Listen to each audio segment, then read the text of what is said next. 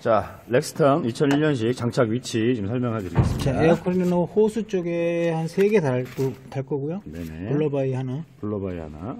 그 인터쿨러 라인에 어, 한두 개, 네. 두 개, 세 개, 하나, 이쪽 흡기 라인. 이거 라지타 라인이고 흡기 라인이 이건 구형이라